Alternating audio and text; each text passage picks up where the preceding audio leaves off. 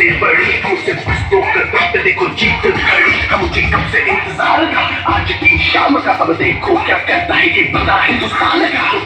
का सकता मैं मर के भी चुकाऊँगा, तुझे मिट्टी कर दूँगा या फिर मिट्टी में मिल जाऊँगा। तो भी था मैं वो करके दिखाऊँगा।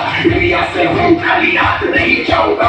पकड़ झाड़ दूँगा तो मैं उखाड़ दूँगा। जहाँ से तू आया है ना, वही तुझे गाड़ दूँगा। तेरी ज़मीन पे आज तुझे ही पछाड़ दूँगा। झंडा इंडिया का बटे